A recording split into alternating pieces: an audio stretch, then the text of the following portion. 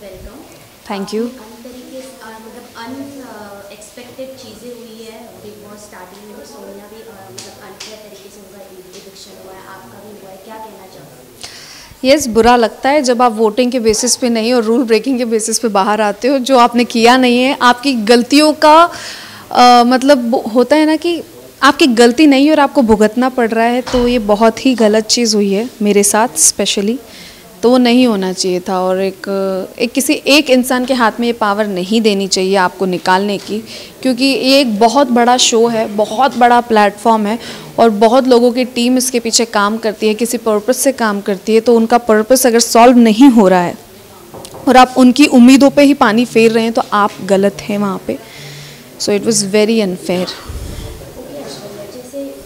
आपको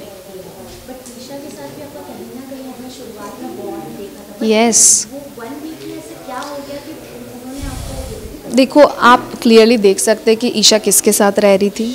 वो एक तरह से चमची बन चुकी है वापस अंकिता दी। मंकू यार मंकू यार जो करती है ना, वो बहुत क्लियरली विजिबल था।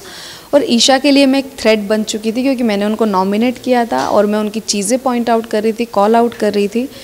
सो इस वजह से उनको लगा कि ऐश्वर्या भारी पड़ रही है मुझ पर तो निकालो इसको।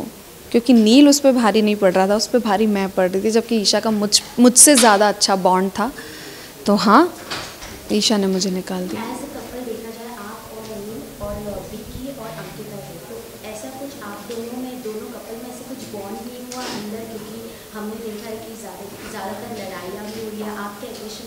तो लेकिन वही सेम चीज़ जब तो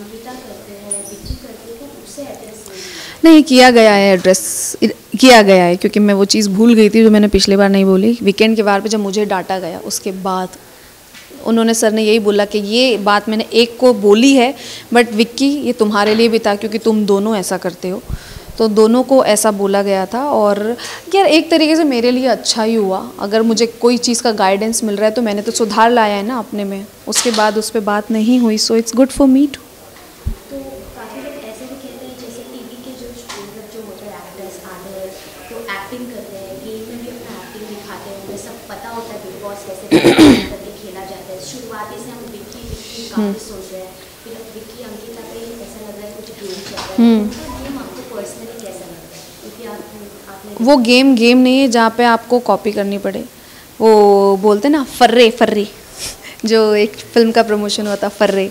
सो वो कॉपी पेस्ट की हुई चीज़ें वहाँ पे वो चली जा रही है उनकी और कुछ मज़ा नहीं आ रहा, कुछ नया अगर करते अपने दिमाग से, जो उनमें है नहीं तो बेटर होता उनके लिए भी। तो ठीक है, खेलिए आप अपना, जो भी खेल रहे हैं आप घिसा पिटा रटा रटाया चटा चटाया गेम गुड फॉर यू पे अकेले हैं। तो आपको क्या लगता है वो अपना गेम और लेवल अप कर पाएँगे या वीक हो जाएँगे? क्योंकि आप जब साथ में थे, तब बॉन्ड स्ट्रॉन्ग तो आप उसे कैरी फॉरवर्ड कर थे, जैसे नील काफ़ी काम है। आप थोड़े मतलब वोकल है ज़्यादा। तो क्या करना चाहिए? नील को वोकल होना चाहिए।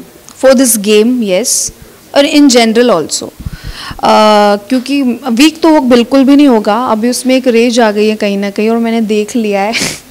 मेरे जाने के बाद जो वो चिल्लाया है ईशा पे।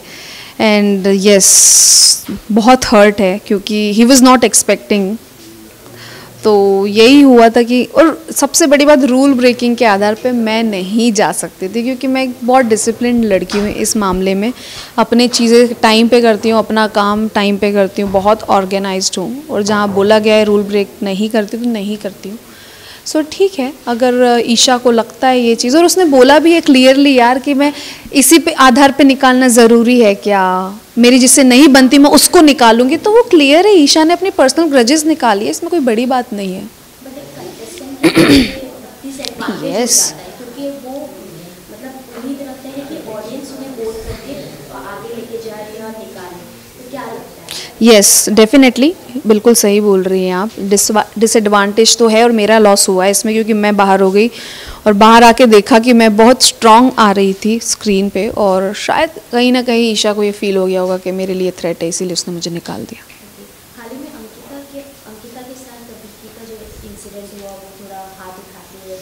अरे हस्बैंड वाइफ है यार वो उनकी केमिस्ट्री उनका इक्वेशन आई डोंट नो उसने हाथ उठाया। मतलब देखा तो है क्लिप में पर पता नहीं कि उनका क्या है। अब एक वो I don't know heat of the moment होगा, क्या होगा। मुझे नहीं पता बंद कमरे में वो लोग कैसे लड़ते हैं। तो हस्बैंड वाइफ है, मैं उस इक्वेशन पे मैं क्या ही कमेंट करूँ बट हाथ नहीं उठाना चाहिए अगर ऐसा है तो। क्योंकि मेरे रिलेशनशिप पे भी बहुत ज़्यादा कमेंट्स उठी हैं। मतलब कमेंट्स किए लोगों ने, सवाल उठे हैं तो वैसा नहीं है जैसा दिखता है तो जज करने वाले हज़ार लोग हैं बिग बॉस में आने से पहले अंकिता विक्की की आपकी कोई ऐसी बातचीत हुई थी कि अंदर जाके साथ में गेम करनी है क्योंकि वो जिस हिसाब से गेम खेल रहे? मैं इतना ही बोलना चाहूँगी हाँ विकी ने कॉल किया था और उन्होंने बोला था कि अगर जा रहे तो हँसी खुशी रहेंगे। कुछ प्लानिंग नहीं हुई थी और आपने देख लिया कि कितना हँसी खुशी वो अंदर रहे हैं हमारे साथ। वो शुरुआत से ही हमारे अगेंस्ट गए हैं तो इट्स वेरी क्लियर कि वो लोग प्लान करके आए थे, हम नहीं प्लान करके गए थे मुनव्वर के बारे में बात करूँ तो अभी हाल ही में वाइल्ड कार्ड एंट्री उनके एक्स आई है। उन पे उस पर क्या कहना है? क्योंकि वो जिस हिसाब से हर एक चीज़ जो हम देख रहे हैं हो रहा है फिर वो रो रहे हैं फिर एक टाइम जो फीलिंग्स फ्लक्चुएट होते रहते हैं मुनव्वर के क्या कहना चाहिए एक्टिंग कर रहे हैं बस इतना ही कहना चाहती हूँ। ही इज़ एक्टिंग क्योंकि हमें ऐसा उम्मीद था कि मुनव्वर एक मास्टरमाइंड प्ले करेंगे। मुझे भी लगा था और मैंने बहुत एडमायर किया उनको शुरुआत में but he didn't do anything कभी हमने ऐसा देखा मनारा के साथ उनका कुछ लव आई थिंक यही उनका गेम प्लान है शायद कि लड़की का सहारा लो और आगे बढ़ो। खुद का कुछ है नहीं उनका खुद का कोई स्टैंड नहीं है मेरे ख्याल से। फ्लॉप फ्लॉप मतलब है मतलब फ्लॉप ही है क्या है नया? वो हस्बैंड के कहने पे तो चलती हैं। वो खुद का कुछ गेम नहीं है उनका। जो विक्की बोलता है उनको वो करना पड़ता है और वही कर रही हैं। लास्टली क्या कहना चाहोगे? नील अंदर है ऑडियंस को फैंस को जो आपके फैंस हैं उनके फैंस हैं इंडिविजुअल क्या उन्हें मैसेज देना चाहिए मैं यही बोलना चाहूँगी कि प्लीज़ प्लीज़ प्लीज़ नील को सपोर्ट कीजिए। अब मैं बाहर आ गई हूँ तो I just want him to win और नील एक बहुत अच्छा इंसान है बहुत ही फेयर पर्सन है जो हमेशा उसने जस्टिस किया है हर एक किसी के साथ। तो प्लीज़ उसके लिए वोट कीजिए उसको जिताइए। Thank you thank you